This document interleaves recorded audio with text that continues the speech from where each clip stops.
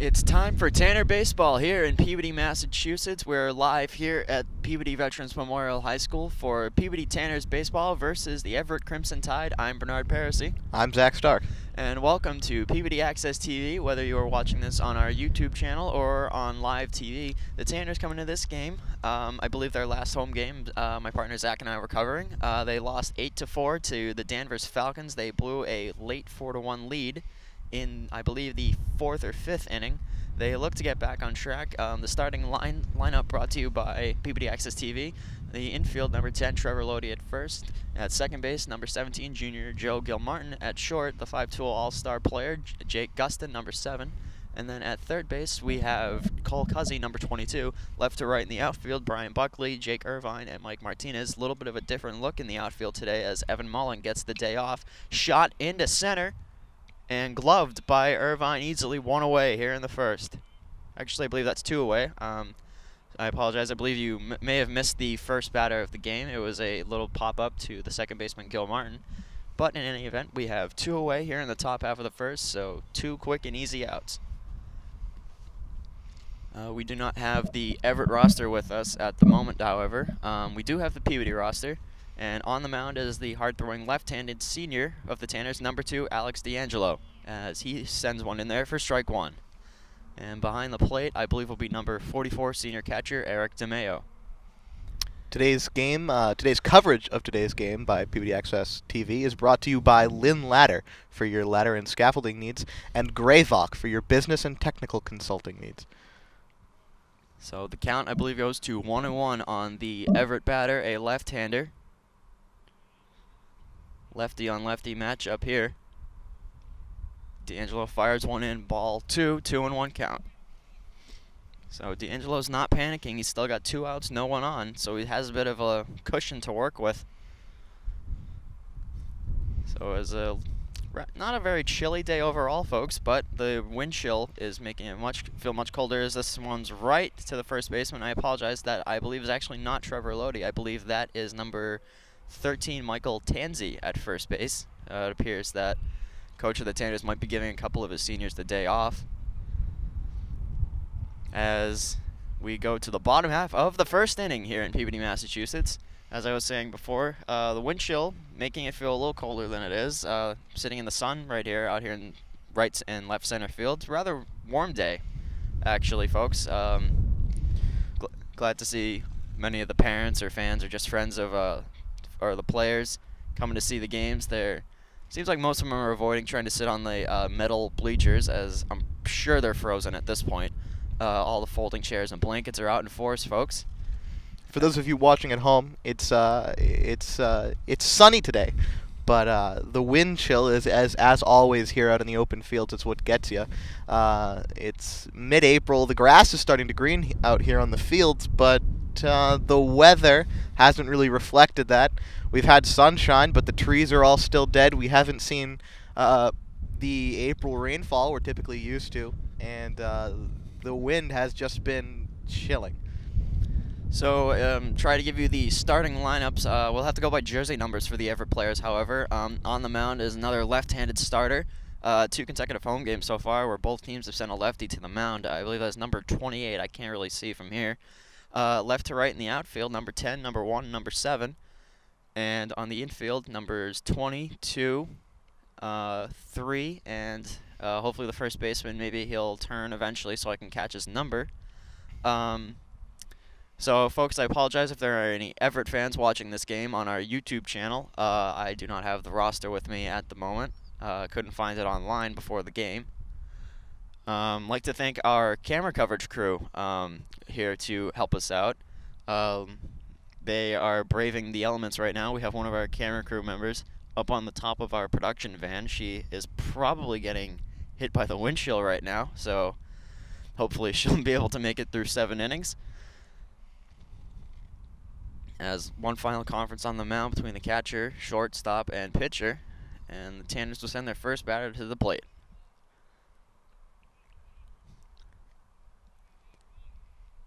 So I'm not sure who the batter will be today. I believe last gamer is, is number 18, so that'll be senior Brian Buckley. Brian Buckley, uh, senior number 18, the left fielder for the Tanners today. Winds up first pitch. Takes a strike.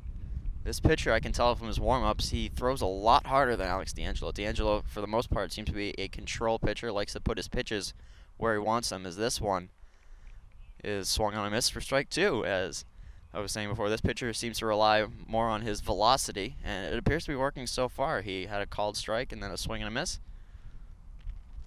He got him looking on three straight pitches, folks. As the Tanners will send their second batter to the plate. Uh, Zach, can you see his number from here? Uh, not from here, no. Oh, I forgot. Uh, folks, almost forgot. We have a monitor right here in our table. That is number four. That will be the center fielder, number uh, number four, senior Jake Irvine.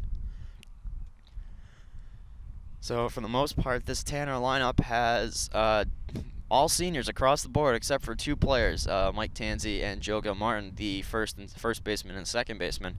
Other than that, it's seniors across the board, folks. Here is the pitch. He takes a strike. Looks over to the third base coach. Uh, he didn't appear to be very happy with that call. May have thought that looked a little inside. Pitch. Check swing. Did he go? No, I believe.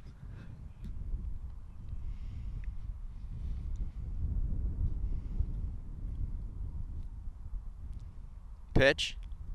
Gets away from the catcher, but in any case, that will be called a ball.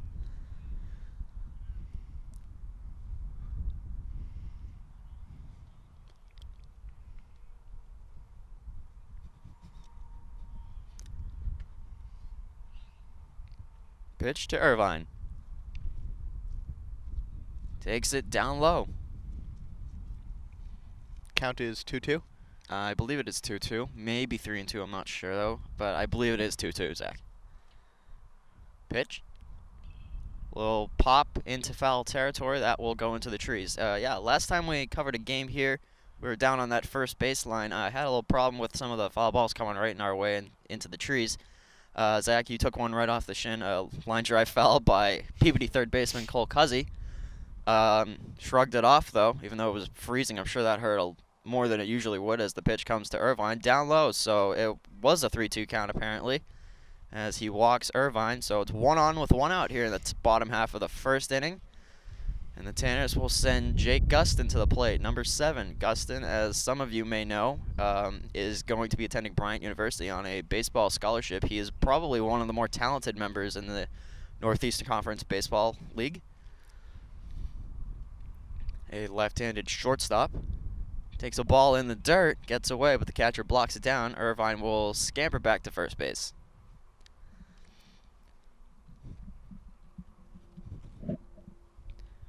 So Gustin has the ability to really hit it anywhere in the field. He also has the ability to hit one hit one right over the fence, folks. He shows bunt. Runner goes, diving. Safe, says the second base umpire. Close play at second base. He had to do a headfirst slide to get there. So a runner in scoring position with one out in the bottom of the first inning.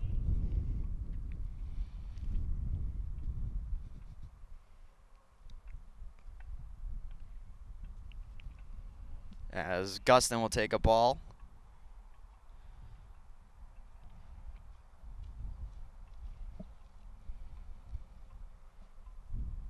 Pitcher from the stretch. Takes one up high. He walked him. As we have two on with only one out here. Stepping to the plate for the Tanners is number 17. Uh, the second baseman, Joe Gilmartin. Gilmartin, if you saw our last our last broadcast on PUD TV's website, uh, game was not live. We had to upload it afterward. Gilmartin came in to relieve Alex D'Angelo in the fourth or fifth inning, and unfortunately, I believe would be tapped with the loss in that game as he gave up six or seven runs to blow the lead. As this one's hitting the foul territory, so the count goes to 0 1. PUD held the lead in that last game, four to one for quite some time. Once Gilmartin came up, though, uh, they quickly lost it to Danvers. Uh, and uh, I believe the final count was 8 to 4 for the final score. Pitch to Gilmartin. Line shot into right field. They're probably going to wave Irvine home. He's coming home. Throw home. Not in time. Tanners lead 1 to nothing in the bottom half of the first inning here in Peabody, Mass.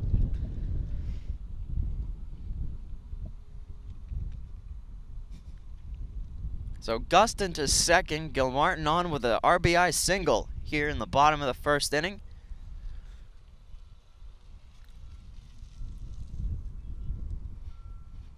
So the Tanners will send Eric DeMeo to the plate, senior catcher, number 44.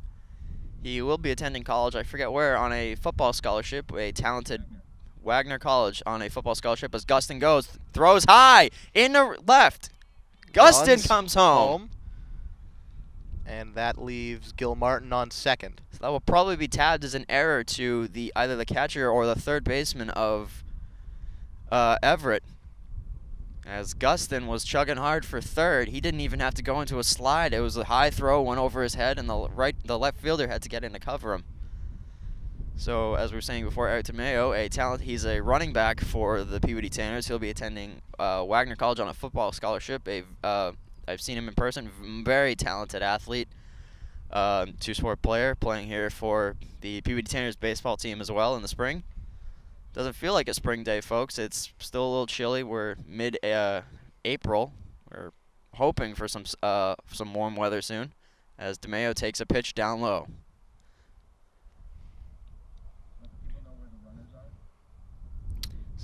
So we have a runner on second, Gilmartin, who was responsible for the first run of the game. So runner in scoring possession was still only one out, as he walks DeMeo now. So we have two on with still have two on with only one out here in the in the bottom of the first inning.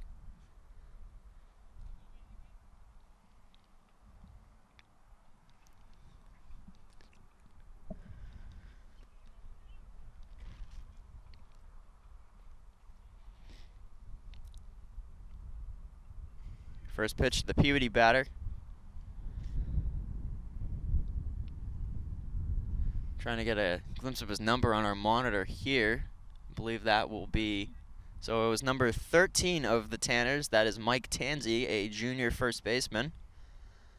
As the coach of the Tanners, as he takes a strike, coach of the Tanners wants to be giving senior number 10 Trevor Lodi a day off. However, we might see him later today. Uh, some faces that are um, at the moment are not in the lineup that we uh, didn't see or that we saw last game versus Danvers. Eddie Campbell was the designated hitter for a while before he moved to third when Joe Gilmartin came in. Um, Evan Mullen, the left fielder, and Trevor Lodi, the former first baseman, uh, will be getting the day off today. Uh, wouldn't be surprised to see them a little later today, however, as he gets them looking.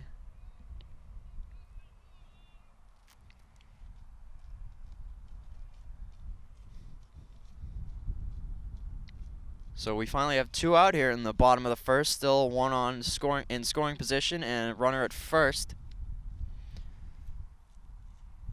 Runner goes. Catcher won't even try to make a throw there. That puts runners at second and third. So we have two men in scoring position at the moment. I believe that's Joe Gilmartin at third and Eric DeMeo at second base. So now batting is number six. So it appears that they have moved Evan Mullen into the designated hitter position today. He will not be in left field, so he is playing today.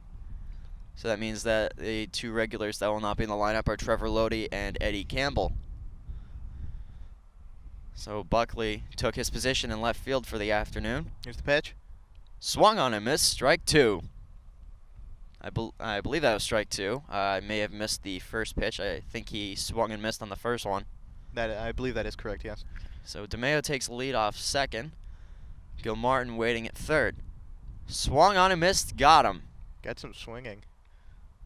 So we'll go to the top of the second inning, but the Tanners tack on two runs on an on a base hit by Gilmartin and an throw a throwing error by the Everett catcher that plated Gustin. So we'll see the Tanners retake the field here on defense. Peabody moving the bases a lot last uh, last inning. Uh, moving between first and second, and eventually second and third a lot in between pitches. Well, that's a good So good sign for the Tanners so far. We will head to a commercial break. This game brought to you by Lynn Ladder for your ladder and scaffolding needs, and by uh, Gravoc. Uh, Gravoc, a tech and business cons cons consulting com company here in Peabody. Steve Jobs once said, Innovation distinguishes between a leader and a follower. What does it take to be a leader? It requires dedication, determination, and experience. At Gravoc, the motto is Our business is your success. We lead together. We lead with our community, with our customers. We believe innovation is a team effort we merge design and technology as one company with many solutions. Peabody is a city with a storied legacy of industry and innovation. Gravoc is proud to continue writing that story as we grow alongside our great city. Visit our website to learn more about our diverse services and opportunities as we celebrate 24 years of business, a quarter century of innovation. Right, folks, we're back after a word from our sponsors. Uh, for those of you who missed out uh, or just tuning in, it's the top of the second inning. Uh, in the last inning, uh, no score from uh, Everett. Uh, in the top of the first, and in the bottom of the first, Peabody brought home two runs. so an eventful first inning for Peabody. So Alex D'Angelo retakes the mound, goes into his windup, pitch, swung on and missed for strike one. So we're already going here in the top half of the second inning. Uh, D'Angelo has been had a 1-2-3 first inning. He'll look to potentially continue that streak in this one. Another swing and a miss by the Everett cleanup hitter. Cleanup spot usually reserved for the player who has the most power because they hope that they can get three men on and hopefully send their power guy to the plate. As popped, popped up. up. And Gilmartin gloves it out of the air. So one away here in the top, bottom in the top half of the second inning. Looked like he had to really move from his second base position. I think he might have been playing virtually on the gra outfield grass. He had to really uh, move to get to that one. So number five hitter of Everett coming to the plate. This is number 20 as he takes a ball down low in the dirt.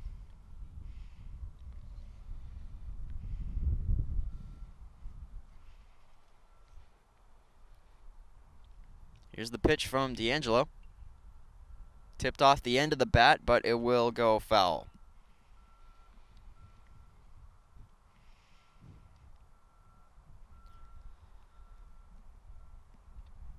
D'Angelo Steps back on the mound looking for a sign from DeMeo, the catcher. A senior, senior battery there on the mound and behind the plate is the pitch. Up the middle. Gustin diving play, throws on a first. He was safe as Tansey had to make a diving stop at that one to keep it from going into the Everett bench as the Crimson Tide finally get a runner on here in the bottom half in the top half of the second inning. Gustin, I have to say that he may have prevented extra bases there. That was a tremendous diving stop. Got to his feet quickly, and looks like the runner maybe just beat him by maybe half a step. It's number six man for Ever comes up. Chopper, third. He'll go for the easy out at first, so he has two away, and the runner advances into scoring position at second.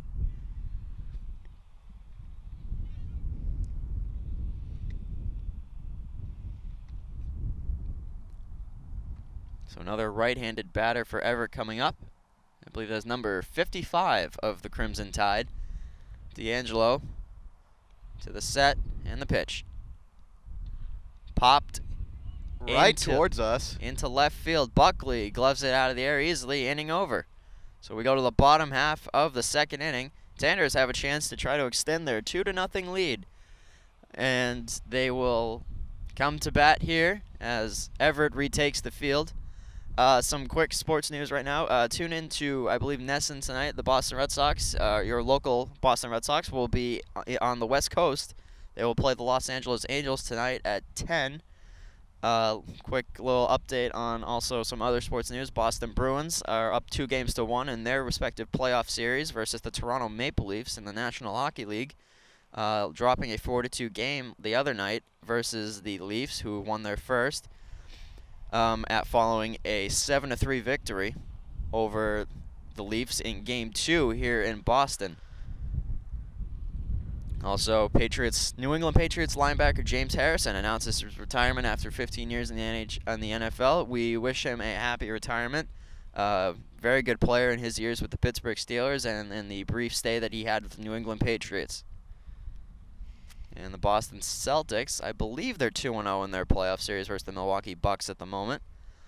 Um, they won an overtime thriller in Game One.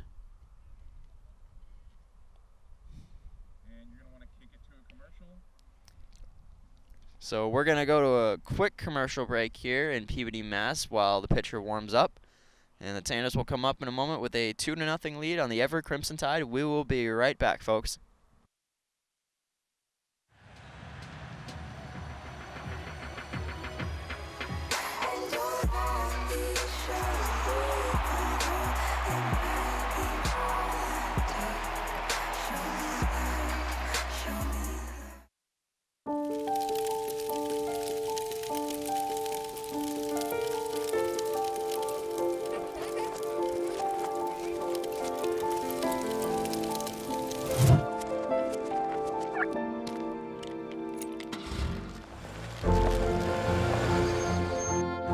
Did you know parking over tall, dry grass can spark a wildfire?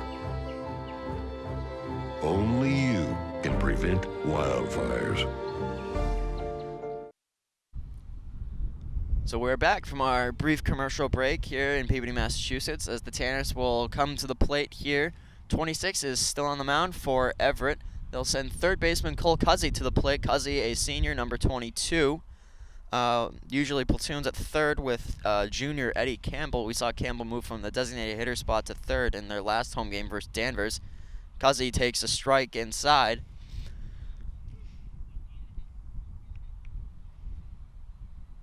So Cuzzy would like to knock one into the outfield right here, folks. He Here's had a relatively quiet game against Danvers last week. Pitch. Swung on and gloved by the catcher in the dirt, so that would be strike two.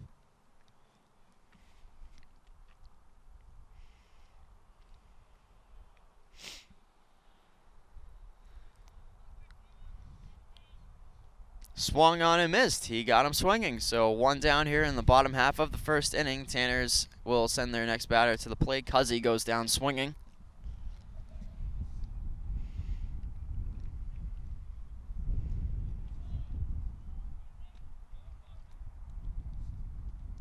Now stepping to the plate for the Tanners is number one of the Tanners. I forget who that is. I will check my roster right now, folks, but in any case, I believe it is ball one. Swung and may have been foul tipped at the catcher's uh, position, so it is Jared Ridley, number one. Uh, now that I see that, folks, I believe he might actually be the uh, right fielder for the Tanners today. They might actually have given Mike Martinez the day off as well, so there are a couple uh, juniors in the lineup today. Here's the pitch. In the dirt, ball. So it is Jared Ridley at the plate, number one. I believe I saw in the Danvers pregame warm-ups uh, he was platooning in right field with Mike Martinez. So they may have given him the day off, as this one is in the left. Left fielder traces back a few steps, Picked up by number 10. loves it for two outs here in the bottom of the second inning. So Ridley gave that one a ride, but eh, the left fielder was right where he had to be. So stepping up is number 18, Brian Buckley, I believe. They have batted around officially. So top of the order coming up. Buckley, I think we're trying to duck out of the way of that one. little check swing. Uh, not sure what they called it. I think they may have said he went around. I'm not sure though.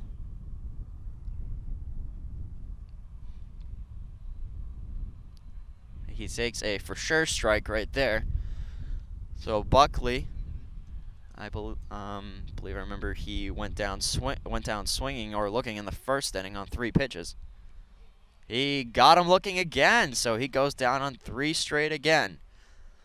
So Everett gets out of a one, two, three inning, and the Tanners will retake the field. D'Angelo will go back on the mound. Will look to continue his uh, shutout game so far.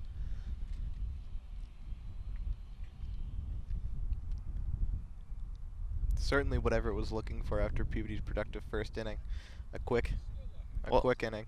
Well, luckily, well, I'm sure they were just hoping to get through a, a couple product, quick productive innings, not only on offense but also on defense. They had a 1 2 3 first, and then they had a relatively quick uh, second inning. They only allowed one base runner. The that only he only got to second base. So they're hoping to get, maybe get another quick inning, try to get out of it, and get their bats moving a little bit again because they will now be at the top of the lineup. They'll have the two, three, and four hitters coming up for Peabody, which will be Irvine, Gustin, and I believe it was uh, Gilmartin. So Irvine, Gustin, and Gilmartin do up in the bottom of the third.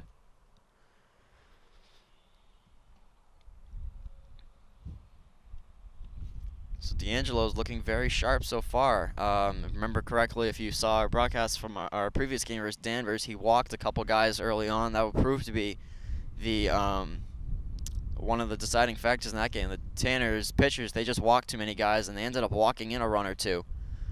Um, and they had their chances on offense. Uh, however, they just couldn't capitalize in the late innings. Though I believe they had a bases loaded situation at one point. They just couldn't get it out of the infield. However, the slick defense of the Danvers Falcons ultimately proved to be their downfall. Uh, also, just quick thing of note. Um, we hope that the that the number one batter of the Danvers Falcons is okay. He was uh, on a 3-2 pitch in the first inning of our previous game. He took a pitch in the back of the head. He was on the ground for a few minutes. Uh, maybe a concussion at least. Um, we're, uh, we hope that he is okay. He's at home. He probably has a couple days off, a couple games to recuperate as the strike. batter takes strike one.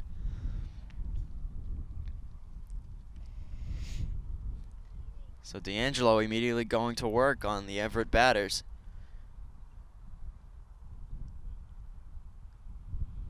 Swung on and missed. Good hardy pitch. That may have been a curveball out of D'Angelo. Count of 0-2. So he was swinging for the left field fences on that one, but he just couldn't connect. I think he may have swung over that pitch. 'Cause That one just dropped into the glove of DeMeo out of nowhere. Other off-speed pitch will be a ball as DeMeo just couldn't center it into the strike zone.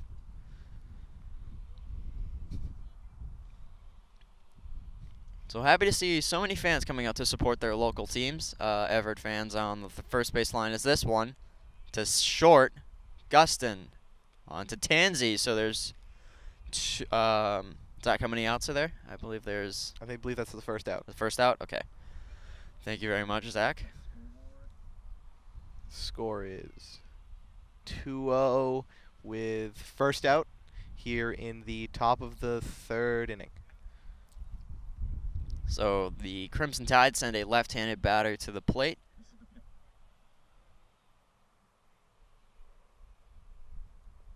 Swung on and missed. I don't think it was tipped. I think it may have just gotten away from the catcher DeMeo. So it was strike one with one away. Uh, so we were relying on the monitor here to tell us the score. However, we don't have outs on it, so and we can't really get a good angle on the scoreboard from our position here in, in left center. Uh, we can barely see the inning number from here. So we will try to keep up with the number of outs. I apologize in advance, folks, if we if maybe we sli- I slip up a little bit. As D'Angelo goes into his windup, fouled right back into the cage. So that one had some steam behind it. Would hate to be on the receiving end had that gotten by the backstop fence.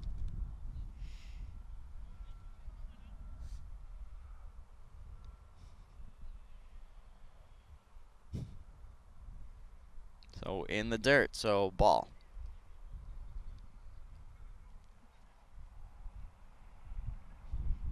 Count appears to be 2 and 2. So D'Angelo would like to get out of this inning, maybe one, two, three fouled away. So the batter stays alive here in the top half of the third inning.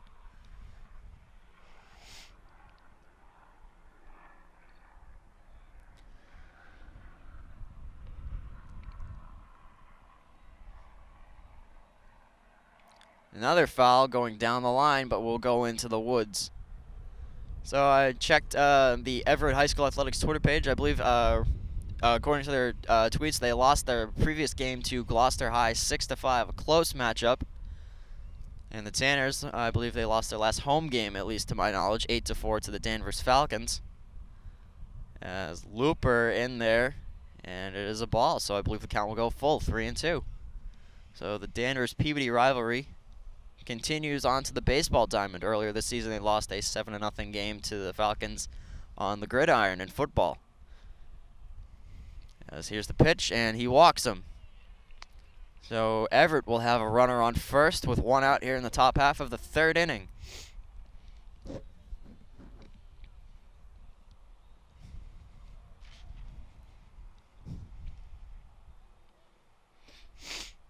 So Everett sends a right-handed batter to the plate. I believe this will be their left fielder, number 10. So this game is moving at a faster pace than it did last game versus Danvers as he takes a strike inside. Uh, obviously, that last game was delayed a little bit by the injury to the Danvers player. Also, the slow pace of the play. There were quite a few walks in that game, couple walked-in runs. And this one's grounded Down to Gilmartin. baseline. Out there, out there at first. Good double play by the Tanner defense from Gilmartin, Augustin to Tansey. That will end the top half of the third inning. So the Tanners will come to bat here, bottom half of the third inning. They'll send Irvine, Gustin, and Gilmartin to the plate. So two parts of that double play combination will bat here in the bottom half of the third inning.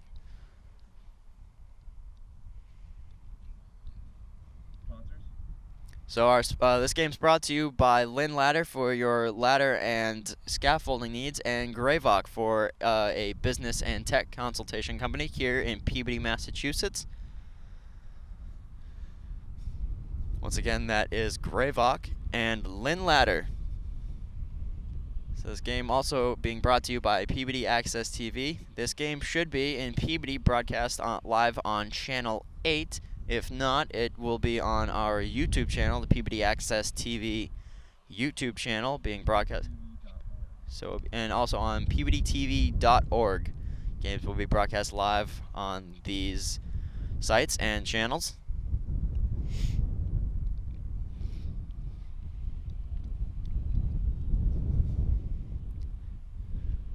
on our PUD TV YouTube channel. Uh, there are plenty of games just like these, as well as other sports games in Peabody, and uh, a wide variety of other events in the Peabody area, including musical performances, um, things regarding the high school, and um, just basically any important event going on in the area. We're sure to cover it.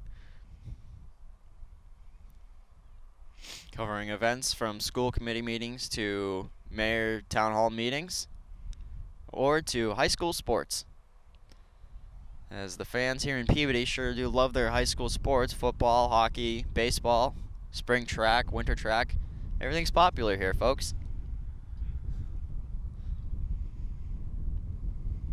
Also, so just a shout out to I know some parents of Peabody athletes who are alum of Everett High School. Uh, we don't know who they'll be rooting for today. Probably sentimentally, they'll be rooting for their son's team for Peabody, but they also might be rooting for their alma mater high school. Swing and a miss, strike one. So Irvine is down 0 1 on the count. Here's the pitch. Takes one a little high out of the strike zone, so counts goes to 1 and 1 on Irvine. Irvine senior center fielder for the Tanners.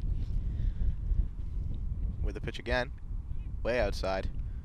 So up high, outside, and looks like it may have gotten out of the glove of the Everett catcher. So 1 1 count to Irvine. He takes the pitch down low, may have been in the dirt. Ball two, so it's a 2 1 count. Correction, that's a now a 3-1 count. It was a 2-1 count So previously. it's now 3 and 1. Thank you, Zach. So Irvine takes it inside. He walks him. So we got ahead of him and walked him. As they'll send Gustin, probably the most dangerous Peabody batter, to the plate. Peabody with one on first and no outs here in the bottom of the third inning. So it's already starting to look up for Peabody. They have a 2 0 lead in the bottom of the third, and they have their best hitter at the plate, Jake Gustin. I've known Jake for quite some time. I know uh, just what kind of an athlete he is. He's very talented player. Plays for, I believe he plays for the Peabody High School men's basketball team also. Very talented there as well. But he will be attending Bryant University on a baseball scholarship. Count is oh. 1 0. From the stretch, Gustin waits. Gets away from the catcher. Irvine will get to second standing up. No problem. Takes a turn at second, but will not draw a throw. He'll remain, and now we have a runner in scoring position with no one out. In the top, in the bottom of the third, Gustin with a 2-0 count to work with here. Also noticing behind us some of the Tanner athletes starting to show up for their warm-ups for their respective practices. Some of their some of the track and field athletes.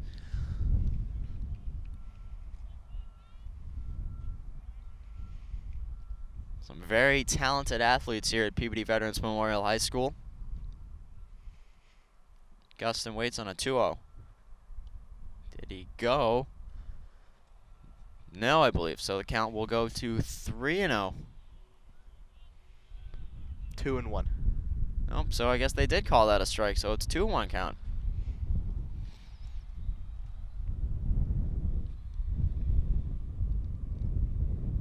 Pitcher steps off. Pitcher keeping his eyes on Irvine at second.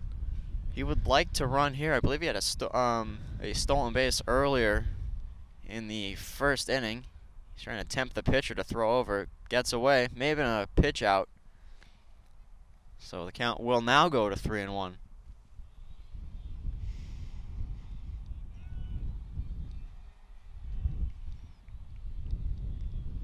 Some fans chirping out in the right center field area. Irvine takes a big lead. Popped into Way out over first. shallow center. Center fielder's there, so there's two, uh, one away here in the bottom of the third. One away with Irvine remaining on second. And Gilmartin steps to the plate. Gilmartin, the second baseman of the Tanners.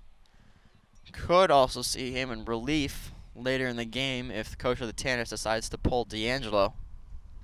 But the way he's pitching so far, um, there's a possibility they might not do that. They might keep him in the game. As the pitcher, tempting Irvine to run, but won't. Everett, second baseman, certainly ready to catch whatever comes towards him.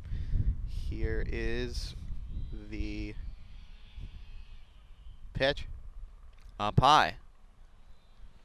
Count of oh. 1 0.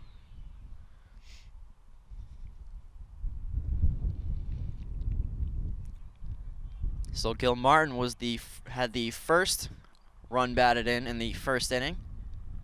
He drove in Irvine early and was left stranded at second as the after the throwing error by the Everett catcher to third that plated Jake Gustin. That pitch was in the dirt. Count is 2 and 0. Again, Peabody with a runner on second with one out. Irvine really tr- playing head games with the Everett pitcher. This one's down low, so we'll go to 3 and 0. So Irvine was really, he looked like he was almost dancing back there at second base, trying to tempt the catcher to, or the pitcher to draw a throw. He can run, however. He did have that stolen base in the first inning.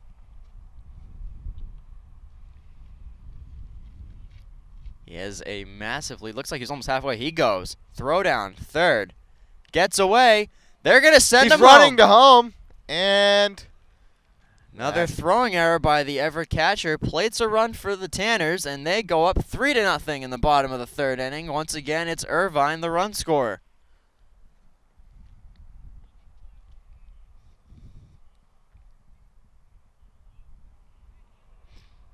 So Gilmartin remains at the plate. So it's starting to look ugly early for the Everett Crimson Tide. They're down 3 nothing on a couple throwing errors by the catcher. Maybe a, maybe been a fielding error. This one's shot into right. Far out over the foul line it looks. So Gil Martin's count will go to three and one.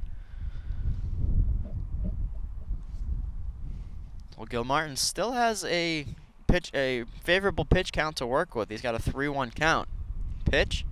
Shot into center field. Another hit for Gilmartin. Right out into the open. Picked up by Everett's first.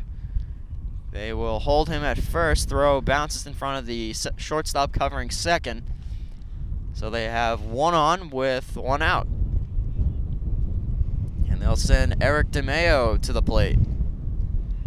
DeMeo has some pop in his bat. He he has the ability to plate one over the fence. A talented athlete in multiple sports, certainly. Here is the pitch. Shot right out towards us. deep into left center. Goes to Missed the by Everett's 10. almost goes to the fence. That will plate Gilmartin. That brings Gilmartin home. DeMeo will and hold at DeMeo second. second. So DeMeo with a big RBI double, four to nothing in the bottom of the third. Wait, pitch, throw back to the pitcher, gets away, and DeMeo is gonna stay at third. At. This looked like the third baseman may have been trying to get it back to the pitcher. Went over the pitcher's head. No one was behind him to cover him. Signs of desperation from the outfield here in Everett as they're sort of motioning towards the bench. Been What just happened? it's been in large part. But it seems to be throwing errors by the Everett defense that's been really starting to get to them. They had two throwing errors that plated a couple runs early.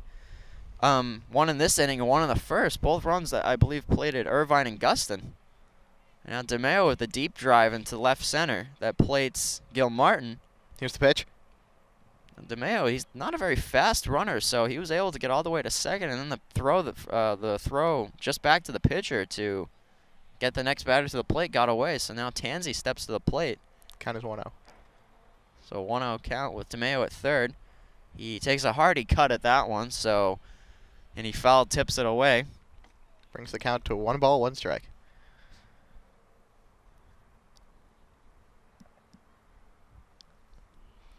Eric DeMeo at third. And Tansey, the junior first baseman, at the plate. Takes a off-speed pitch inside that will go to a one and two count, with only one out here in the bottom half of the third inning.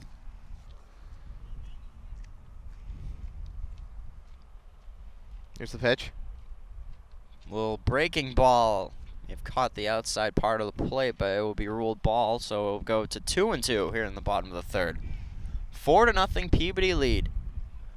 But in baseball, no lead is safe, folks. They had a four to one lead, and against Danvers, popped up. Foul territory. First baseman 17 is over. Folks, Uh, that's only the second out, I believe. Uh, Actually, I believe he may have missed it. Yeah, it appears that Alright. he it actually got away never from him there. Still just one out. A little sudden gust of breeze. It may have just um, breeze may have taken it, but in any event, Tansey is still at the plate. Must have been just outside his glove here. Uh, wind looked like it may have taken that one away from him. I guess that's what happens on a day this windy. Well, the wind has finally died down just a little bit. Pitch up high to Tansey, so the count will go to, I believe it will go f- um, full. Three and two.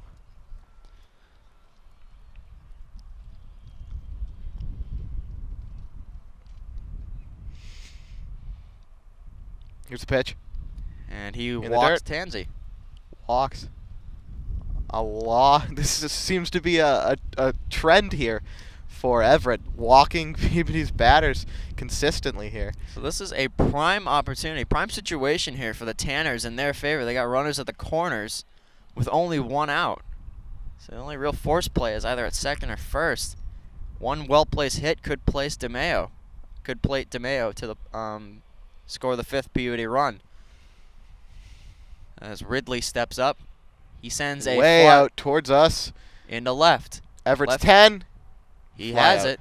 DeMeo tags and he will come home with the fifth run. So that's going to be the second out this inning. So DeMeo scores. But Peabody's third score just this inning, bringing the score to 5 nothing Peabody. So they'll tack that as a sacrifice fly by Ridley to left field. They've been hitting some deep fly balls so far, uh, a trend that we didn't really see much against Danvers. Uh, they were mainly ground balls on the infield that happened to just get through the holes. As Peabody sends Cuzzy to the plate.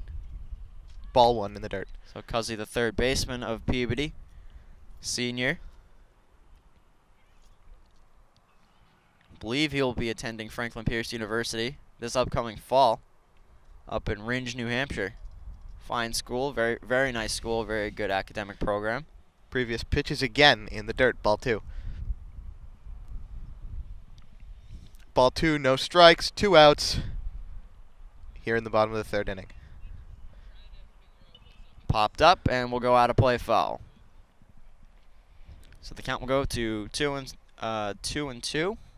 Two and one, I believe. Two and one.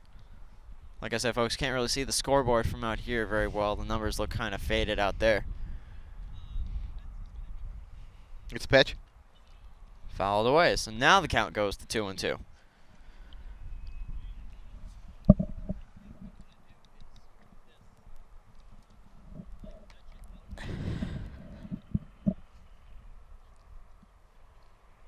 So Cuzzy on the 2-2 pitch with two outs.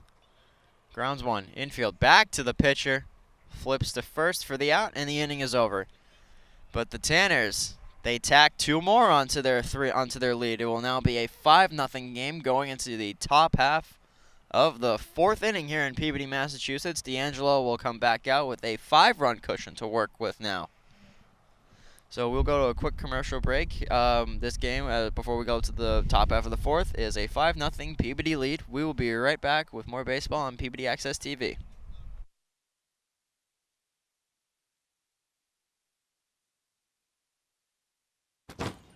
Hart, what's going on? I'm leaving. Why? What did I do? Not enough. The pressure is too much. I quit. I get it. I can do better. Just please don't leave. Don't let your heart quit on you. Get your uncontrolled high blood pressure to a healthy range before it's too late. There's a shelter pet who wants to meet you. Meet one today. Visit theshelterpetproject.org.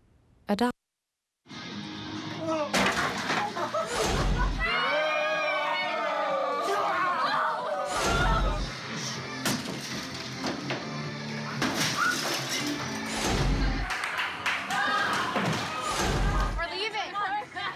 Most party fouls are pretty dumb. But if you decide to drink and drive underage, you could lose your license and your freedom. Underage drinking and driving. The ultimate party foul.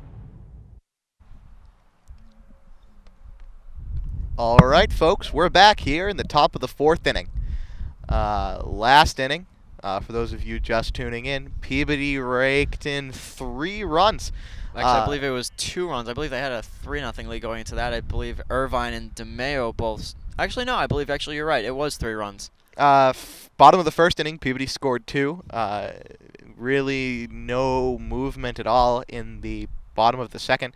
But in the bottom of the third inning, third inning Peabody takes three more runs onto their lead. So the lead is 5 nothing as they uh, take the field here, uh, here in the top of the fourth inning. So Ir it was Irvine, Gilmartin, and DeMeo who all came to the plate. Big deep fly ball by DeMeo plated Gilmartin.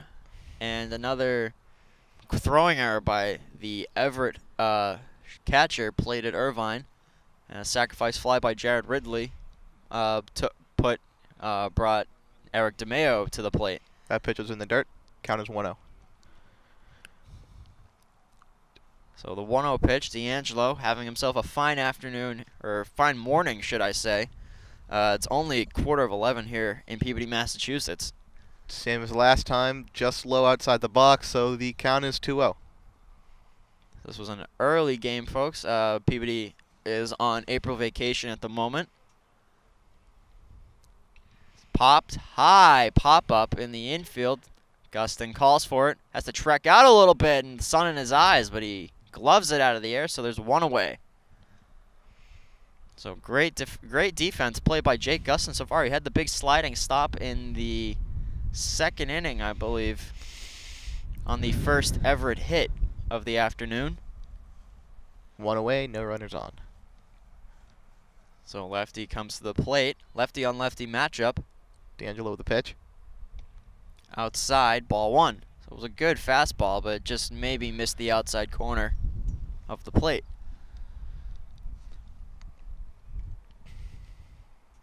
So it was an early morning for everyone here at Peabody TV. We had to be here at 7:30 to set this game up. We have uh, on our multi-camera shoot our live games. Uh, great job by everyone who came out this early on their vacation to set up set everything up. Um, our monitor, the camera work, they're doing very very good job so far. Pitch is fouled away. Previous strike was also a previous pitch was also a strike, which brings the count to one and two.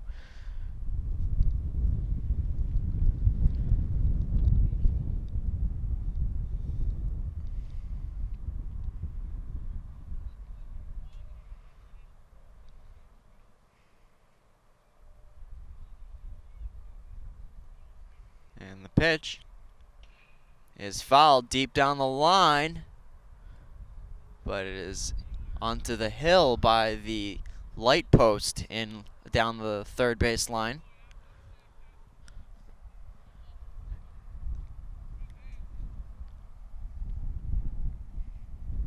Count is one two.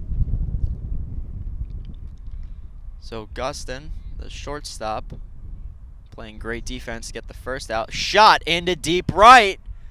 Ridley going back at the track. He gloves it.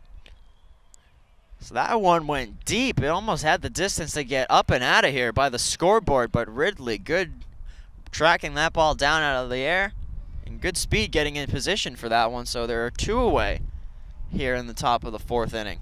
Two outs, both on a fly ball. So Everett sends right-handed batter to the plate.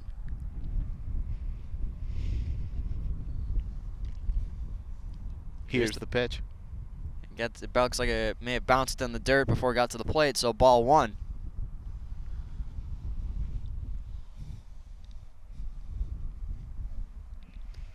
So a lot of uh, Peabody at track and field athletes warming up behind us. Some of the track athletes down on the turf field as he swings and misses. So he takes strike one. So count goes to one and one. Uh, very, uh, a few years ago put in a brand new turf football field and talk recently of them putting in a new baseball field as well. Uh, as this one is a big fly ball into center. Irvine tracking it down on the run makes the catch and the inning is over. So good one, two, three inning by D'Angelo, but he was helped out greatly by the defense on that one. Big fly balls. So pop up to Gustin, the big drive into right for Ridley, and the deep fly ball to Irvine in center. The Tanners will come up to the plate. Peabody's turf field, really something to marvel at. A few years ago when they put that in, it was just before, uh, or just before construction on Peabody's new uh, Higgins Middle School, and it was a big part of the budget uh, for the public schools that year to put in this turf field. Um, it's one of the nicer fields in the area, and it I hear it's really something to play on. Um, some health concerns have been brought up by local organizations regarding the uh, rubber from tires used in the turf field, but Peabody remains certain that it was a necessary addition. Peabody making renovations to the basketball court also uh, just over this past summer. That's where they got the new parquet floor in there. Uh, also, folks, uh, on our monitor, um, just um, probably seeing on your screens at home or on TV, it says five to one. Um, it is actually five to zero. That's been fixed. Thank you. Um, uh, Tanner still hold a five nothing lead. D'Angelo five run cushion to work with. So I'm sure he's not panicking at the moment.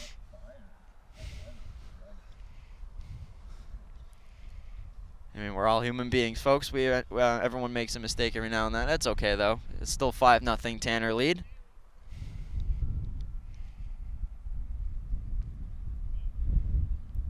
Quite windy today. Uh, it, it's been a windy April. We've only really seen April, I mean, rain one day uh, so far this month. That was uh, not yesterday, but Monday. Uh, kind of puts down or brings an end to the April April showers uh, saying because we just haven't seen that so far. It's been a cold, windy April. Here's the pitch. And he went around, so that'll be strike one.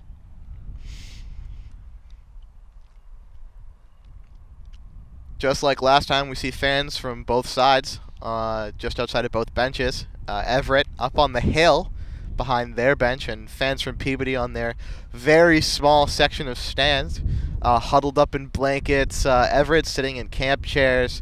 Some fans from Peabody sitting in camp chairs too, as this very again very small section of stands has overflowed a little bit, and they're uh, just trying to stay warm in the cold. Uh, count is one two. So Ridley at the plate, he had the big catch and the deep fly ball on a right field. That may have been on the warning track. He caught that one. As he pops this one foul into the woods behind the Everett bench. Count will remain one two. With no outs here in the bottom of the fourth inning. So after a superb defensive play like that, I'm sure Ridley must be fired up. He wants to translate that success here. And he goes down looking. He may not have agreed with that one.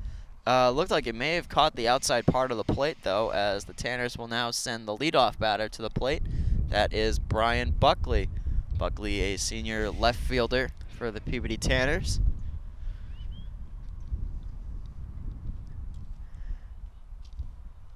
Swung on and missed. Strike one.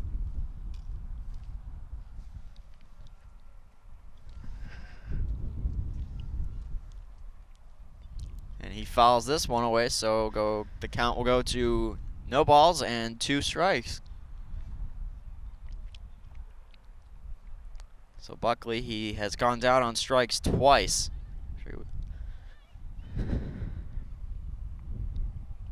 And he goes down again, so that's the third strikeout for him on the afternoon, on the uh, morning.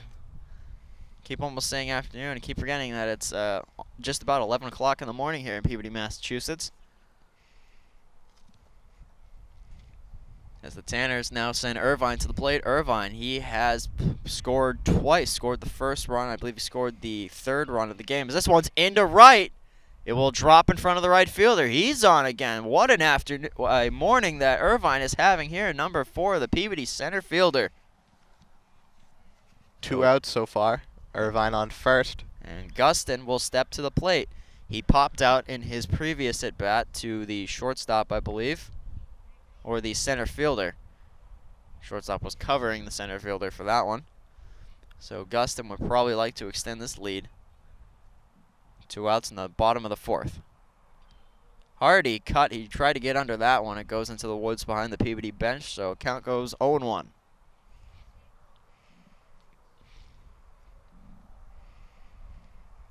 Gustin, in many ways, would be considered a five-tool player. Can hit, run, field, throw, and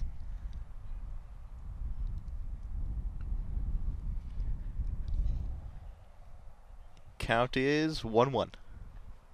So Gustin, a 1-1 count, five-run lead to work with. So even if they don't score here, D'Angelo has a good cushion to work with. Pitch inside, had to spin out of the way of that one. Uh, last game, uh, he got hit once by a pitch. Um, can't can't say for certain, but it may have been retaliation for the hit on the Danvers batter earlier in that game. Takes a strike. Count goes to two and two.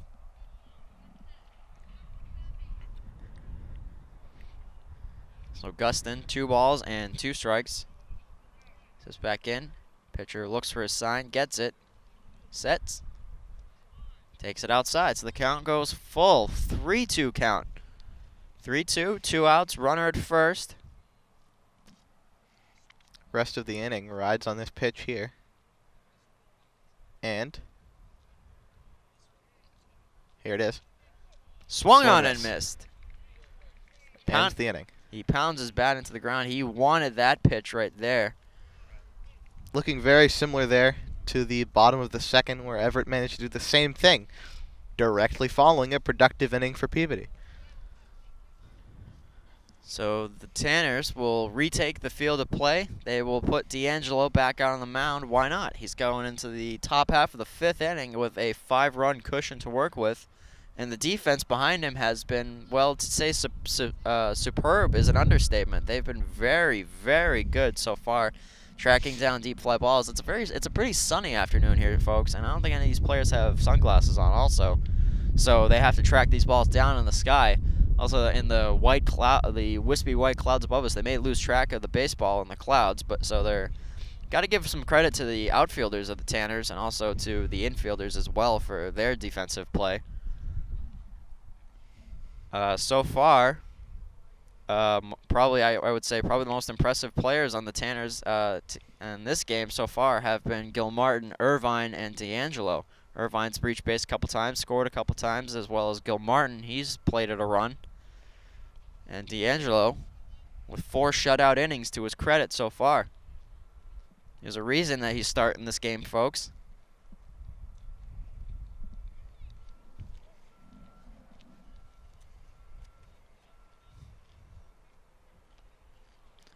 So I mentioned earlier, I'll mention uh, again, tune in tonight on NESN, should be local channel 51. Uh, Boston Red Sox take on the Los Angeles Angels in California on their West Coast road trip tonight at 10.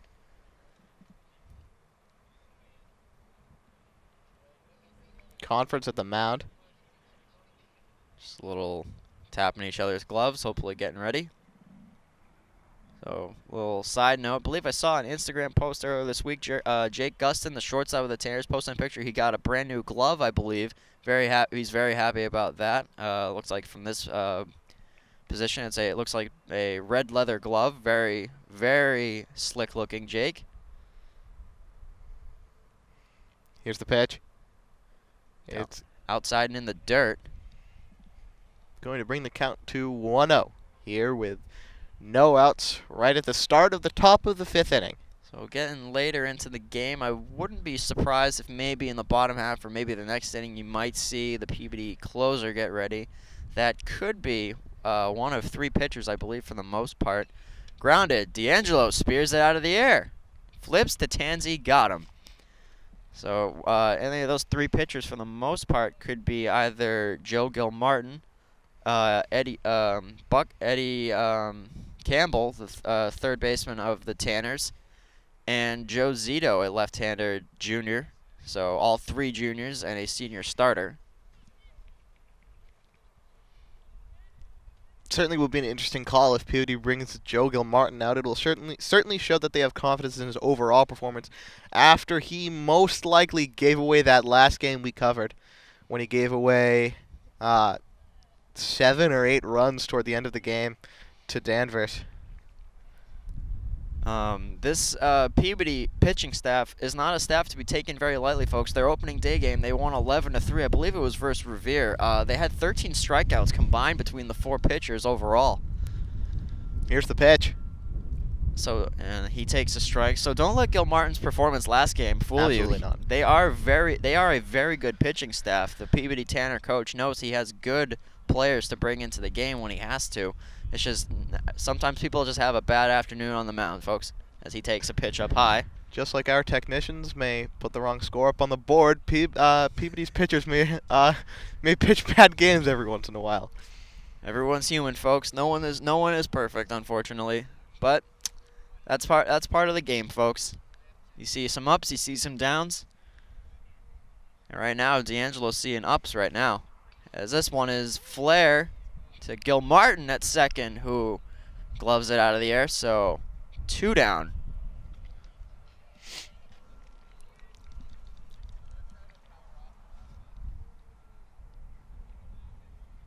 it looks like some of the Tanner athletes, looks like some of the, looks like maybe discus throwers warming up behind us.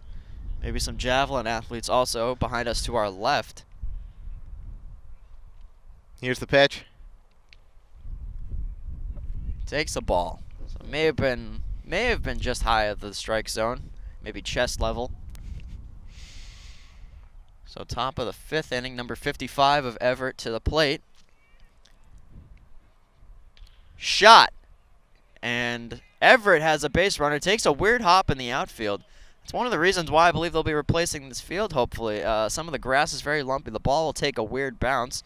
But in any case, we have one on for Everett with two outs here in the top half of the fifth inning. Folks, worth noting there is no certainty as to whether or not Peabody will replace these fields up here. It's just been talk. Uh, I believe the mayor mentioned in his State of the City address, and uh, in just a number of talks he's been giving recently, that he's certainly giving a, a large amount of consideration to replacing these fields. Um, also, next up in the budget is a potential re complete refurbishing. Uh, there was a recent refurbishing of Peabody's auditorium, but uh, they might be looking to completely refurbish the entire setting uh, within the next few years. But the mayor said if that happens, it won't be within the coming year, but within the next few years.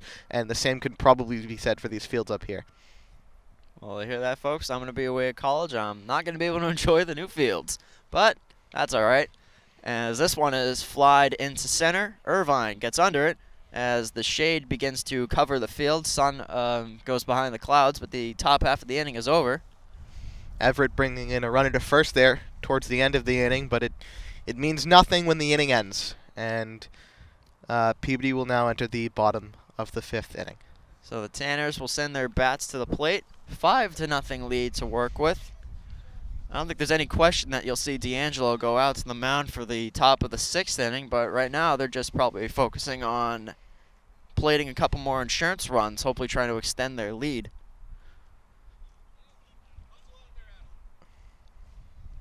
As it looks like behind us, uh, we may have been getting one of our cameras replaced. One of our uh, camera angles uh, may have lost one of them. As our one of our work study uh, coworkers, Adam Hoffman, will run the camera out there.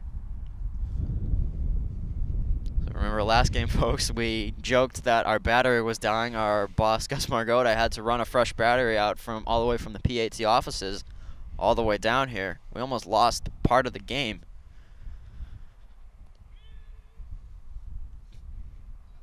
No such technical difficulties so far here today as the bottom of the fifth inning. The Everett pitcher will remain on the mound. Uh, I have to say, quite honestly, I'm very surprised that he is uh, with a five to nothing deficit, and they only really have two. Uh, after this, they really only have two more chances to come up to bat. They only go seven innings here, folks. I believe. We've really seen no changes by Everett on the field, which is, as Bernie just said, interesting because Everett hasn't been playing the best baseball game so far, and uh, you know the the catcher's giving him a brief word of advice here on the mound.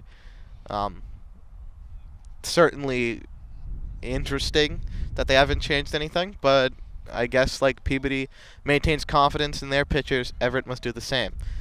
So Gilmartin will step to the plate for Peabody. Gilmartin, one of Peabody's pitchers himself. Takes a strike down low. The Peabody second baseman as well um, in the event that they make a change, this one is down the right field line and will go foul. So in the case that they bring him in, uh, you will likely see Cuzzy move from third to second, and the designated hitter may be switched. You may see Mullen be pulled, and they'll put um, Eddie Campbell in as he grounds to to second, and they got him. Very, very close play at first. So the Crimson Tide finally nabs Gilmartin. Don't let his pitching performance fool you, folks. He is a very talented Peabody athlete. Very good baseball player from what we've seen today. DeMeo, senior catcher, steps to the plate. Pitcher his windup. Takes a ball in the dirt. For those just tuning in, it's the bottom of the fifth inning with Peabody up. One out right now with a count of 1-0. Peabody playing a very productive baseball game so far, scoring two outs in the bottom half of the first inning and three in the bottom half of the third. Count is 2-0. That last pitch was a ball. So 26 of Everett still on the mound as he takes a strike, so the count goes to 2 and 1. So DeMeo, he had a deep fly ball he scored earlier. Takes a hearty hack at that one. Count goes to two and two. So we've seen a line of cars forming out here to our right. Fans parking their cars up here to support their team. As DeMeo goes down. So folks, one well-placed fly ball into the left field corner and like I said, I believe in a softball game earlier uh, last week, uh, one well-placed fly ball, and Sullivan Tires uh, down on Washington Street is probably going to get pretty busy replacing windshields or hammering out some dents. As he takes a strike high. So that's going to be Mike Tansey, number 13 first baseman for the Tanners.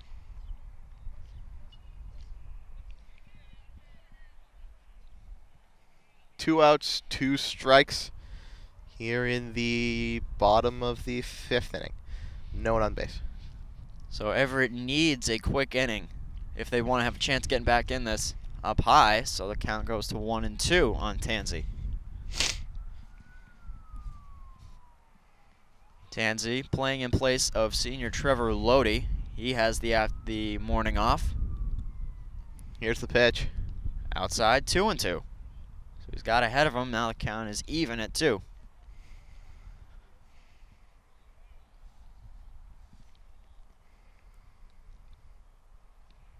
Outside, three and two. So he got ahead of him. Now he's behind in the count.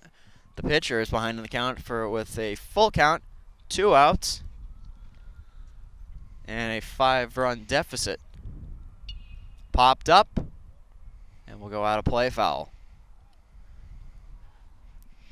And given the count is three and two, the count will stay the same.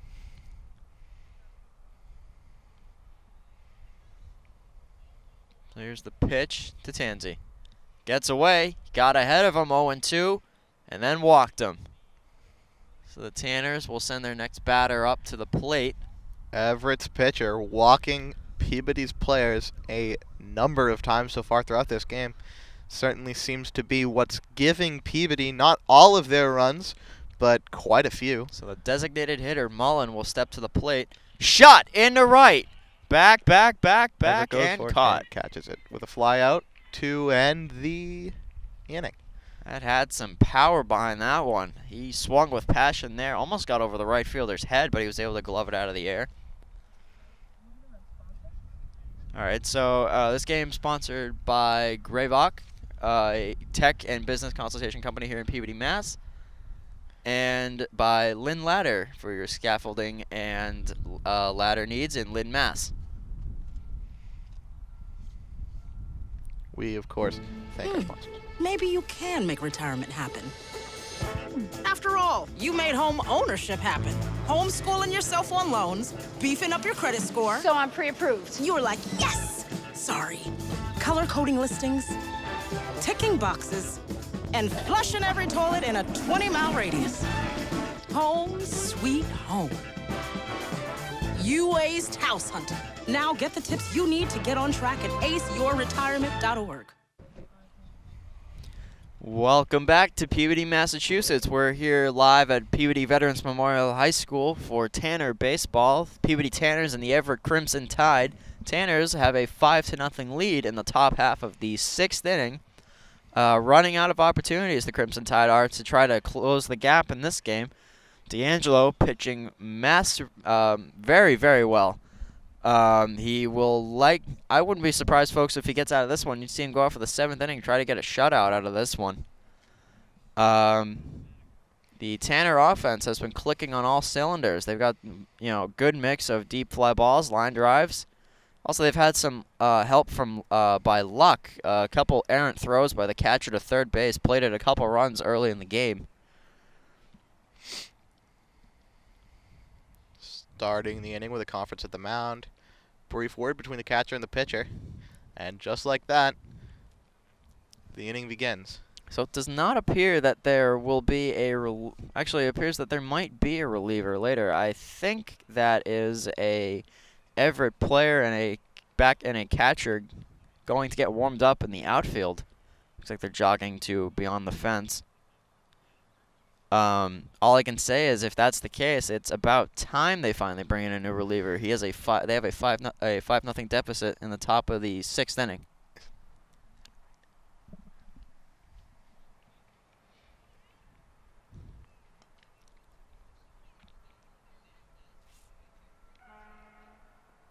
So yes, it does look like they're gonna get a pitcher ready. And it looks like it might be number one, the center fielder of Everett, as this one is lined foul into the woods behind the Dan the Peabody bench. It also does look like that Peabody has a pitcher getting ready of its own up there. Uh, I believe that might be Eddie Campbell getting warmed up. I might be mistaken. Actually, no, it does not appear to be so. Grounded on the infield, D'Angelo fields it, fires, chugging hard as the runner. He got him. So I'll check that. See who's getting warmed up. The number on the jersey, I believe. One out, no one on base here at the top of the sixth inning. I believe that will be Campbell getting warmed up. I can't I can't confirm that, however, though.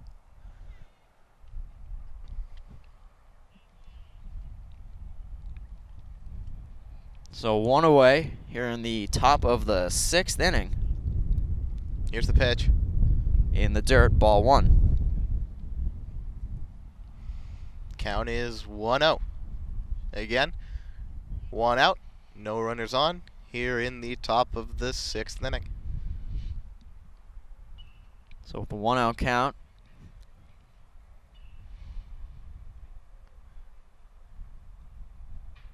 takes a strike right down the middle.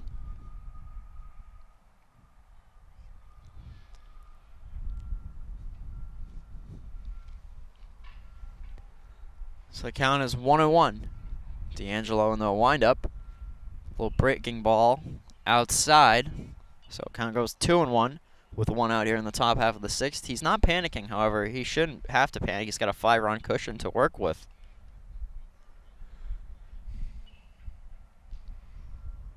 Swung on and fouled straight back into the fence behind the umpire, home plate umpire. Scoreboard is reading count of one ball, two strikes. Interestingly enough, not sure what happened on that last play. No addition was made to the board. Here's the pitch, down low in the dirt, so a count goes to two and two.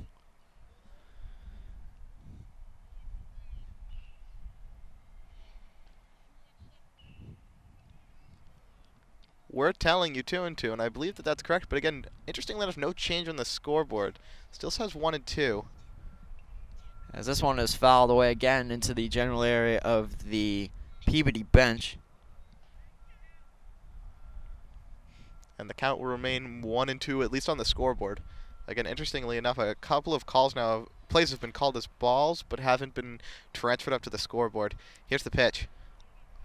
Grounded. Gustin fields it on a hop, fires down, got him. Two outs. Tansey had to practically uh, lay down on the ground to get that one. That one was very low. Looks like he almost did a split by accident, but he digs it out of there.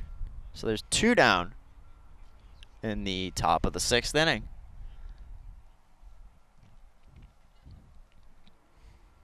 So for the most part, in the late innings, it's in the early innings, it was the pitching for the Tanners. In the late innings, it's become the defense that's really come through on this one. As this one's up high, ball one.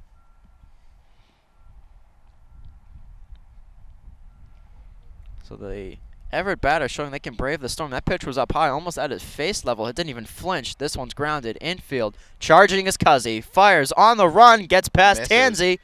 Runner goes to second, where I'm assuming he'll stay, and he does. Interestingly enough, folks, on that last play, again, the scoreboard we're looking at here on the field isn't seeming to count any balls that are called by the umpire.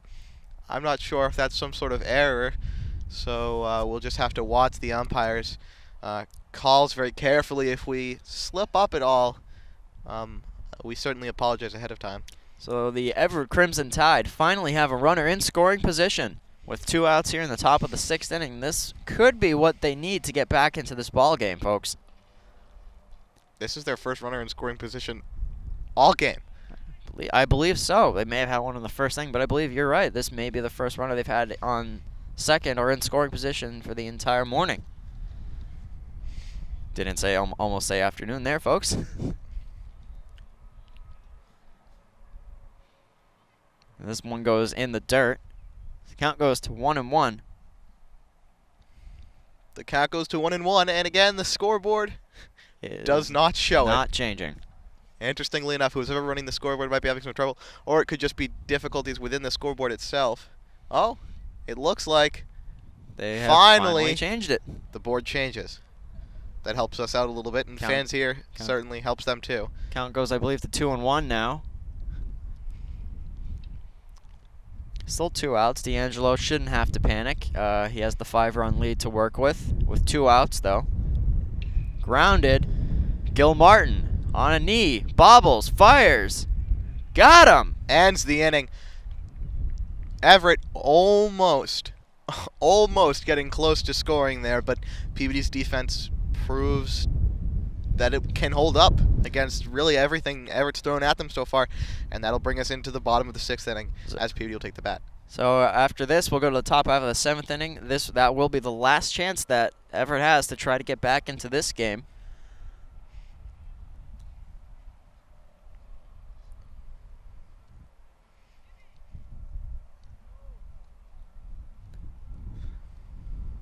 So Everett, it appears, will make a change on the mound, finally.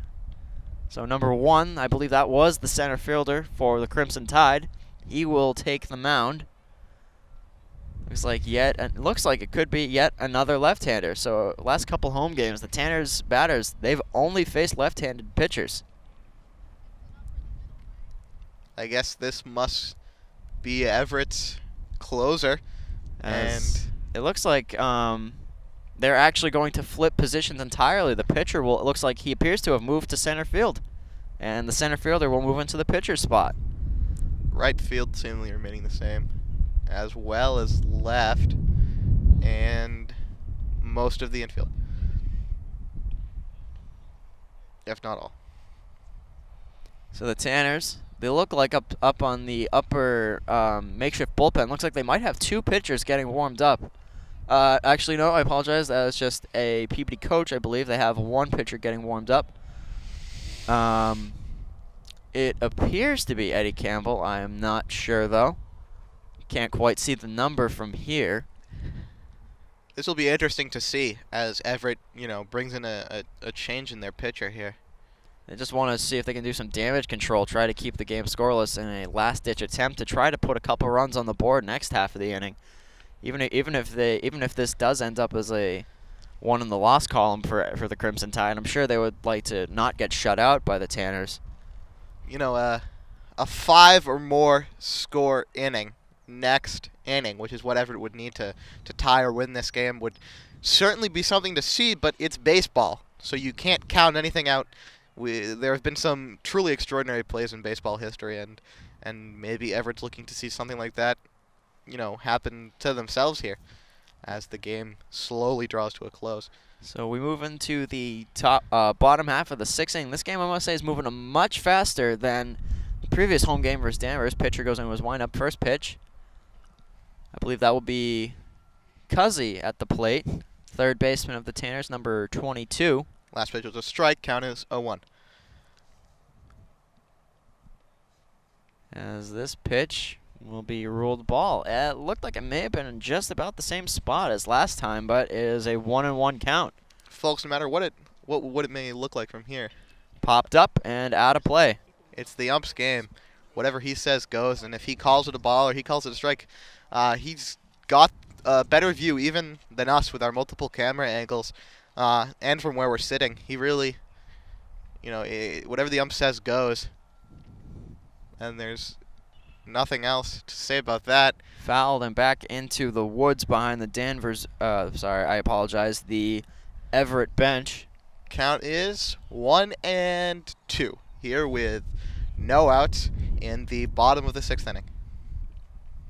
So Cuzzy is fighting to stay alive. Time called. Catcher confers with his pitcher for a brief moment.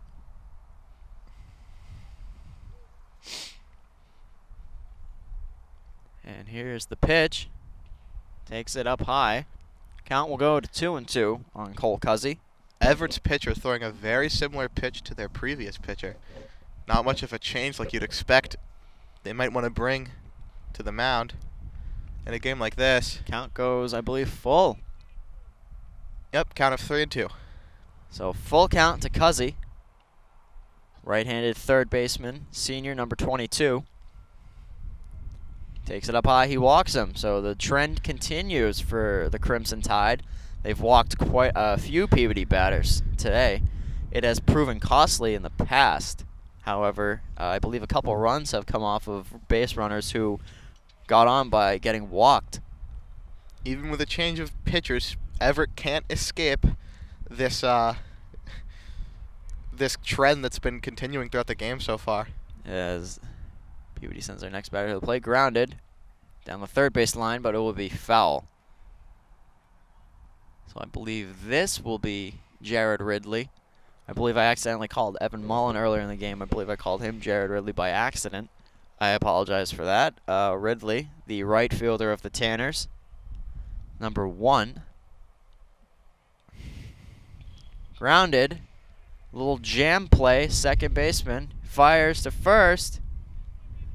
And they got him, but the runner advances to scoring position at second. So the one on with one out in the top in the bottom of the sixth inning here in Peabody, Massachusetts. Peabody now in scoring position. Unlike Everett, only seeing that once throughout the game, Peabody's seen this this situation and others similar to it multiple times.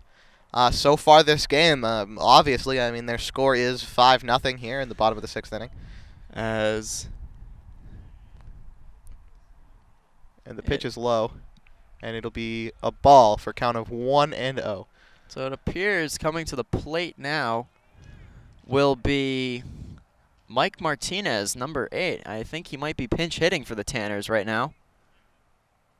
As this pitch will go up high and out of the strike zone. Bringing the count to 2 two, 0.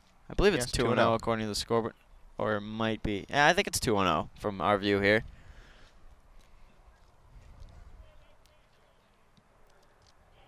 Throw over, back to second. Diving back is Cuzzy. So if Martinez is pinch hitting, This pitcher very passionate about his uh, his throw there to second, sort of nodding at the uh, at the second at the runner at second, like I got you. Here's the pitch. Inside, almost grazed his kneecap there, but he gets out of the way of that one. So we gotta think if Martinez is pinch hitting for the Tanners right now, who will come in for? Uh, you'll means you'll likely see another pitcher come in. Uh, he could because Martinez, for the most part, is- Outside again. Martinez is, for the most part, I believe, the regular right fielder. And the runner advances to third, which gives Peabody a runner at first base and third base. So the ball may have gotten away from the catcher there, and he scampers to third. So corners with only one out. Now coming to the plate. I believe this will be number 28 Christian Cummings, an outfielder for the Tanners. So there have been a few changes. So now I don't know who will come in for Peabody um, if they decide to make a pitching change. But appears that maybe some of the outfield has been replaced. Uh, Cummings in warm-ups was the regular center fielder. The ump calls that a strike. Count is 0-1. Pitcher steps off. Runner goes. Steals home. He's safe. And the runner at first makes it to second, which gives Looked like the Everett pitcher. I think he may have gotten a little confused there. And a typical uh, try to, uh, I guess you call it a trick play in baseball. If there's runners at the corners, first base runner will usually try to steal second and maybe catch the pitcher off guard, try to draw a throw. Because once that ball leaves his hand, that third base runner is going to be hauling towards the plate. whatever it was, it was successful, and it brings Peabody to 6 nothing. Because it looked like it almost fooled him there. He did turn around briefly and looked like he was second guessing the throw. Then he realized that the runner must be going, and he turned. And but by that time, by the time the ball got to the plate, Cuzzy had already reached home.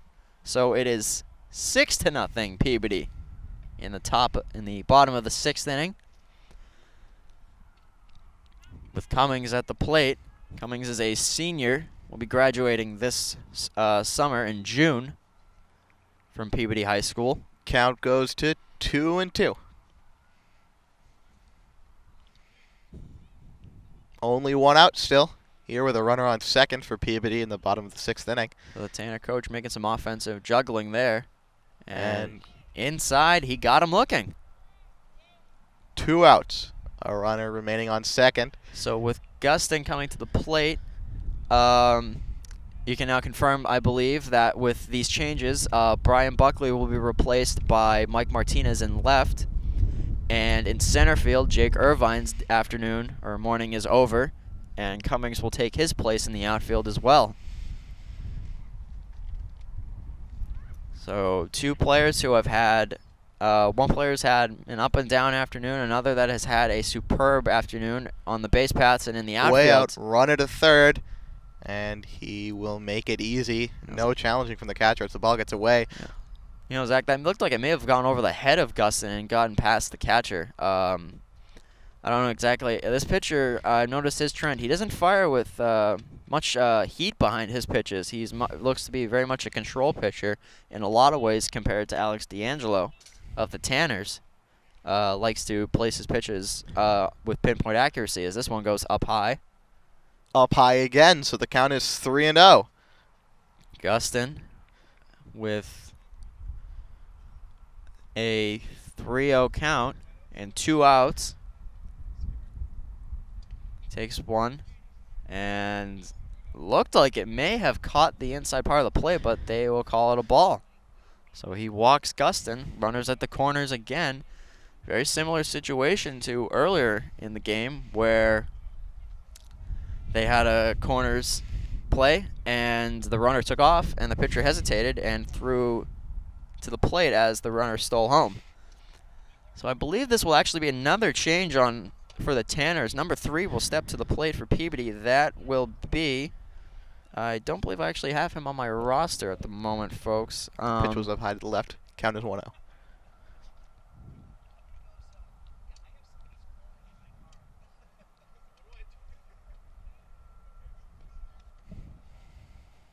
So the pitch will go.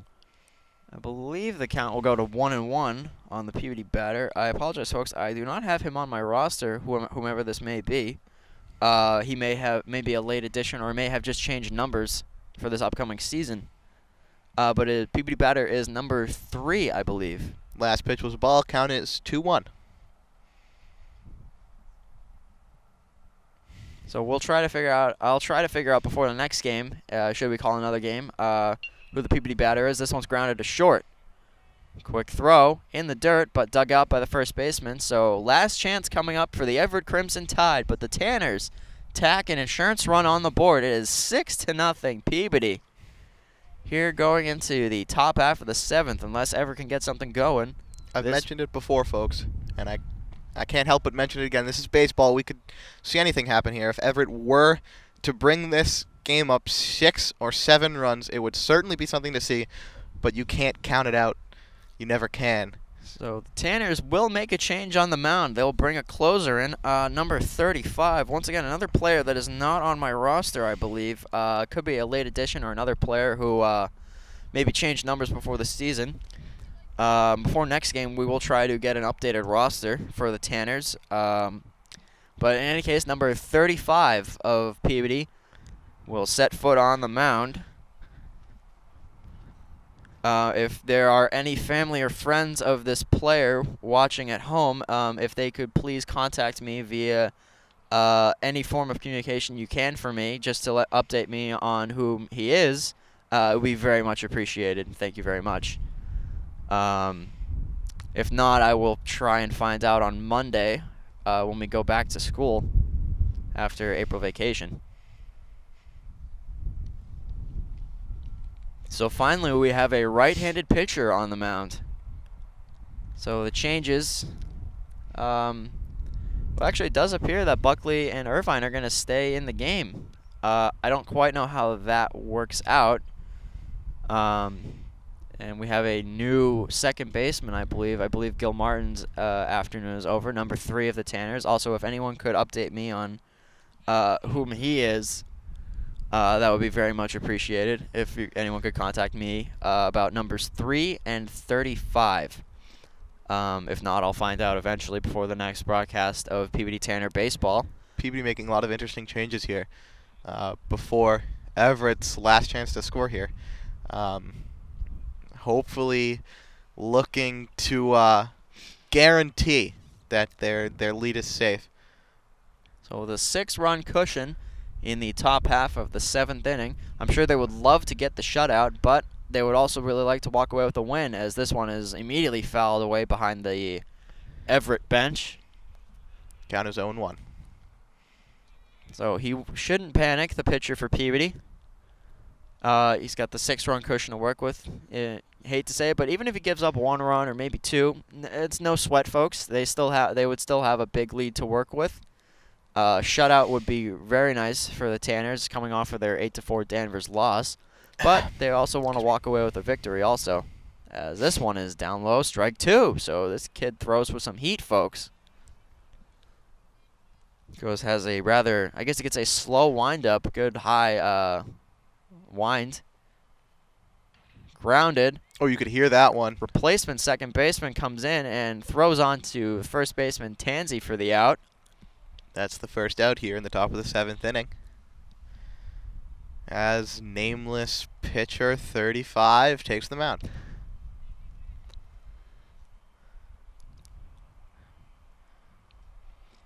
So the Tanner defense, I believe, should be noted for this game this afternoon. Uh, they had some great defensive plays early on in the middle innings, actually. Pitch up high. He has to duck out of the way of that one. A little chin music there, just trying to get him off the plate. Almost hit him in the head.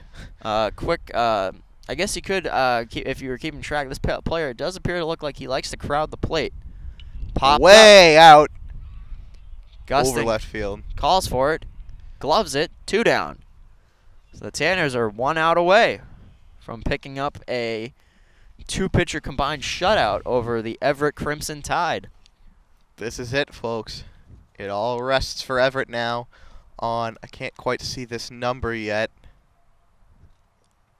but whoever's at the plate. Strike one. So this guy throws with some uh, heat behind his pitches. Count goes to 0 and 1. I believe this is Everett's number 11 at the plate now. That may have been fouled off of the inside handle of the bat. The count goes to 0 and 2. So Everett down to their final strike. I'll take nothing short of a miracle to get them back into this game. Here's the pitch. Up high, ball one. So they're going to make us wait for it, folks. Count goes to one and two.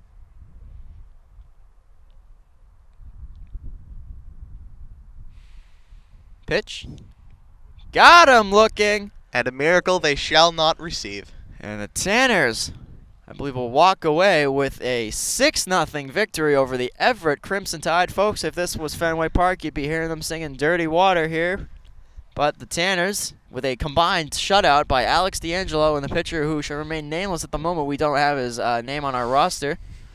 But the Tanners, resounding 6 to nothing win over the over the Everett Crimson Tide. Sorry for sneezing in your ear there, folks. Um, but the Tanners win six nothing. Everett. Uh, they they made their best effort while they could, but they cannot uh, come back from their deficit. Uh, that's all for Tanner baseball here on Peabody Access TV. Six to nothing. Tanners beat the Crimson Tide. I'm Bernard Parisi. I'm Zach Stark. This game brought to you by Peabody Access TV. Will also be, I believe, also on the Peabody TV YouTube channel and also on PeabodyTV.org. This game brought to you by Lynn Ladder for your ladder and scaffolding needs, and by Gravoc uh, for your business uh, and tech consultation needs. That's all from Peabody, Massachusetts. Uh, we will see you next time on Peabody Access TV.